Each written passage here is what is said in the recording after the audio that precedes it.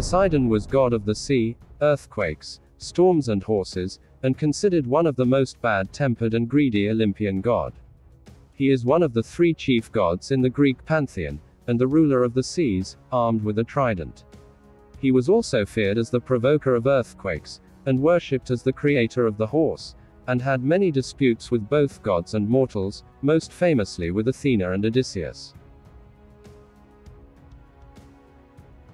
Cronus overthrew his father Uranus, and ruled over the world along with his wife Rhea.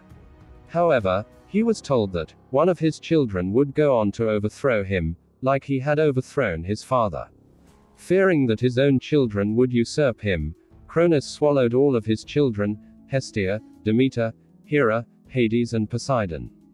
However, when Rhea gave birth to her sixth child, Zeus, she hid him in a cave, and instead gave Cronus a stone wrapped in his clothes, which he swallowed.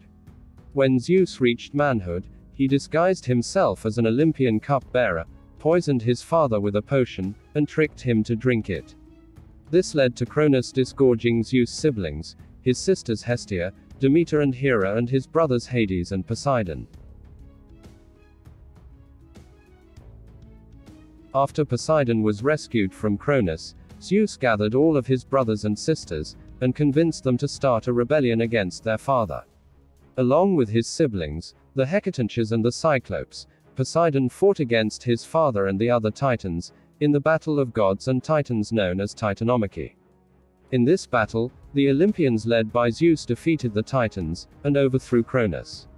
Zeus imprisoned all the Titans, including Cronus in the Tartarus. Zeus and his brothers then shared the world by drawing lots. Poseidon was named the Lord of the Seas, and received the rivers and the oceans. Hades received the underworld, where he ruled over the souls of the deceased, while Zeus received the heavens, and became the king of the Greek gods. After becoming the leader of the Olympian gods, Zeus began to reign over the world. When he raised his arm unveiling his lighting bolt, the other gods bowed down as a sign of respect. No god had as much authority as Zeus, only the goddess Hera, the wife of Zeus, but not even the goddess could go against the supreme god. The god, despite loving his wife, was not faithful to her, and he had plenty of affairs, and because of this, the goddess Hera and Zeus lived in a permanent state of quarrel. Tired of being humiliated by her husband, the goddess started to plot against Zeus. The other gods were also fed up with Zeus' arrogance, and came together to overthrow him. The gods entered the room where Zeus slept, Poseidon and Apollo chained the god to his bed, with strong gold chains. So when Zeus awoke, he was immobilized. Thetis visualized civil war, which could throw the whole world into utter chaos, and only Zeus can avoid such a conflict. She relied on Briareos, the largest of all the Hecatoncheires, who was a massive creature with a hundred arms and fifty heads. Briareos' loyalty to Zeus was unconditional, and so he went to Olympus and broke the chains that imprisoned Zeus. Zeus unleashed a mighty thunder, that shook the very foundation of the entire universe. The gods who participated in the coup laid down their arms in submission. The goddess Hera was punished for having led the rebellion, until she made a solemn oath, never to rebel against her husband. But Zeus gave a special punishment for Apollo and Poseidon, the gods would have to put themselves at service of the Trojan king Laomedon, helping in the building of the walls of Troy. Medusa was a Gorgon, once a beautiful woman who was priestess to the goddess Athena. To be a priestess of Athena, woman must be a virgin, and give her life to the goddess. Poseidon lusted for Medusa, and was infatuated by her beauty, and he pursued her to great lengths. Medusa tried to escape him by running to the temple of Athena. Athena ignored Medusa's plea for help, and was found by Poseidon, who went on to rape her on the floor of the temple itself. Athena was filled with rage.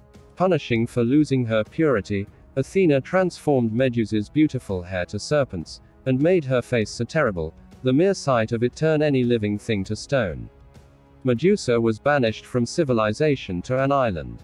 She was alone and men chase her trying to kill her. She looked at them in fear and saw them turn to stone. Medusa thus became a monster. Years later, hero Perseus came to the island with the shield from Athena, flying shoes from Hermes, and a sword helmet from Zeus. Perseus slayed Medusa, from Medusa's body came a winged horse Pegasus, and a golden warrior named Chrysaor. They are considered to be children of Medusa and Poseidon. In Greek mythology, Demeter was the goddess of the grain, agriculture, harvest, growth and nourishment. When Demeter was wandering in search of her daughter Persephone, she was followed by Poseidon, who lusted after her. Demeter rejected his love, in order to escape Poseidon embraces, Demeter transformed herself into a mare, and gazed with the mares of King Onkeos. However, she couldn't conceal her divinity even in the form of a mare. Poseidon realized this, and transformed himself into stallion and joined the herd. He then forced her to mate with him. Demeter was furious due to the assault, and she retreated into a cave in order to purify herself. Her absence caused the death of crops and of livestock, thus leading to a universal famine. Ultimately, she washed away her anger in the river Ladon. As a result of having intercourse, she gave birth to Poseidon's daughter, Despoina, and Arion, a horse with the ability to speak human language. Amphitrite was one of the sea nymphs called the Nereids. One day, the sea god Poseidon saw her dancing, and fell desperately in love with her. He promptly asked her to marry him, but unfortunately she refused, and fled to Atlas, at the farthest ends of the sea. Poseidon didn't give up, and sent his loyal friend Delphin, a dolphin-shaped god to pursue her. Delphin found Amphitrite, pleaded Poseidon's cause so well, that she changed her mind.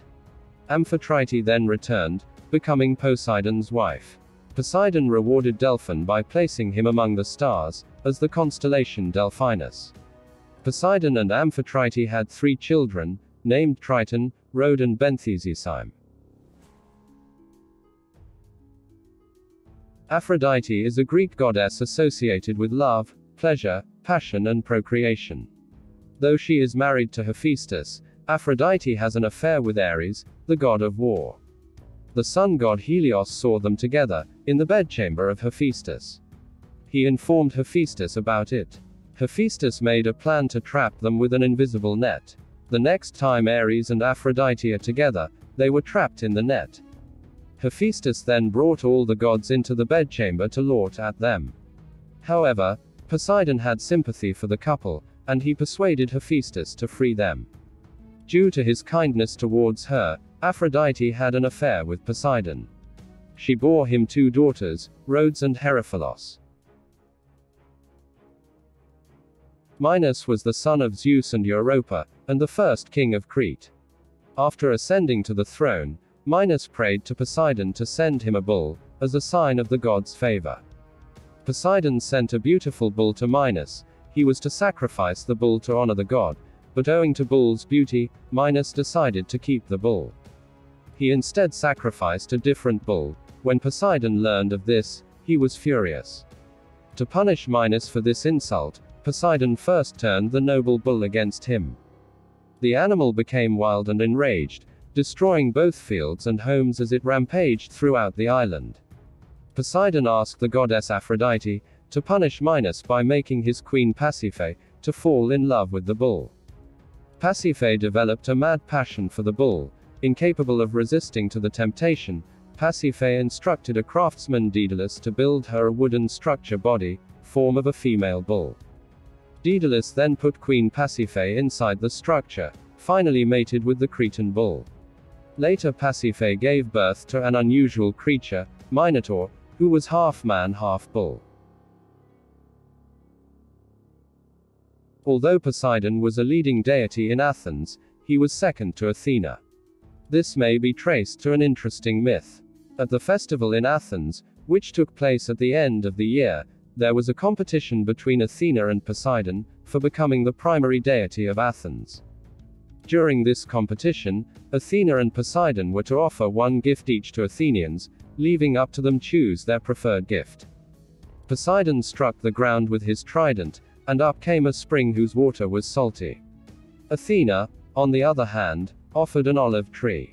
Since the tree brought them wood, oil, and food, the Athenians choose it over the salty water. After losing the competition, Poseidon was furious, and he sent a monstrous flood to punish the Athenians.